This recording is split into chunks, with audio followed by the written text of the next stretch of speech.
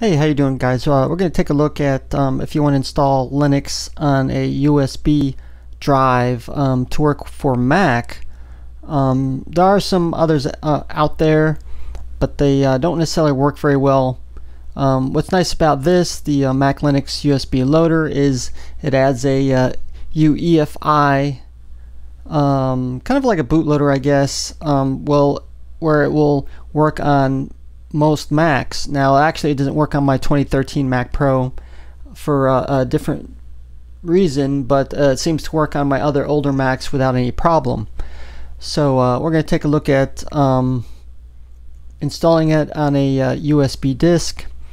Now, first thing I'm going to do is actually erase it. I, I have uh, another Linux distribution on there, which I don't really like, so I'm going to put on Mint Linux. So uh, we're actually going to go to uh, disk utility and we're going to go ahead and uh, erase it and reformat it as well. And uh, just like that.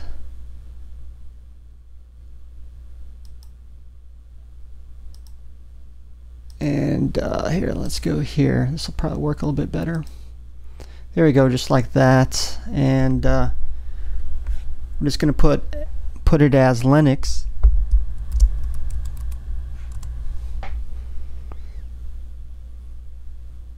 Now we're going to also put it as MS-DOS FAT and then apply the master boot record uh, so it'll be able to be uh, to boot up and then we're going to go ahead and erase it. Oops. And probably because it was uh, mounted so I'll, we're going to try it again. For some reason it didn't work.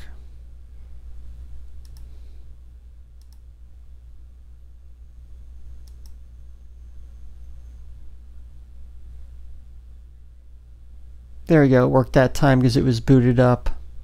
Or it was uh, mounted, so uh, you have to unmount it or to be able to work in uh, Mac, I guess.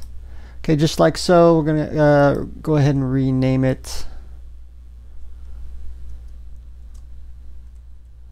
Well, actually, we'll call it mint, I guess.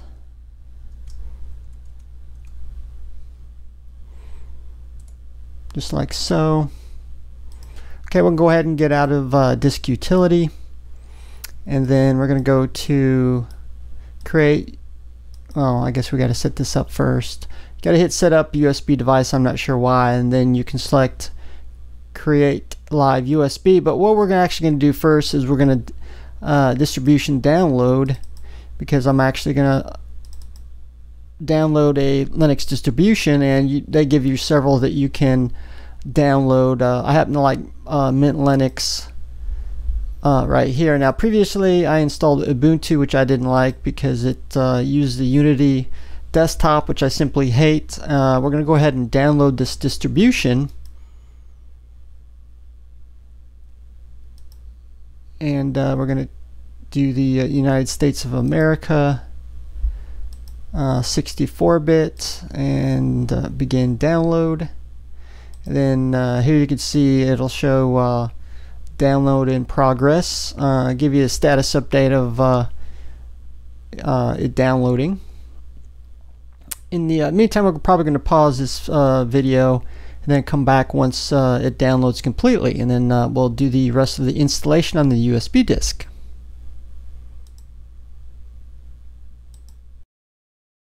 Okay, we just uh, finally finished uh, downloading it. As you can see, we don't have a uh, status bar anymore and right below more information you'll see uh, view and finder showing where it was downloaded. In, in this case, a download folder on a external drive. Okay, we're going to try to get this uh, installed on the uh, USB disk. And uh, we're going to double click on create live CD. Um, it's going to ask us where this is downloaded and let me see if I remember where this is downloaded.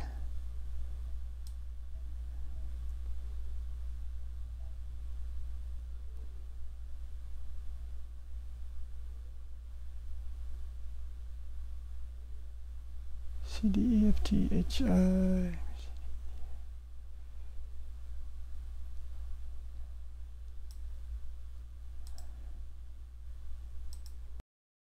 Okay, uh, having a little trouble uh, trying to uh, access it where it's down exactly downloaded. So I think last time I did this too, I just uh, right clicked on it and then went to uh, Mac US Linux USB loader here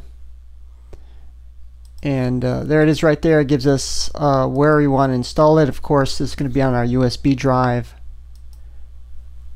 I guess included with application, which is enterprise source for some reason.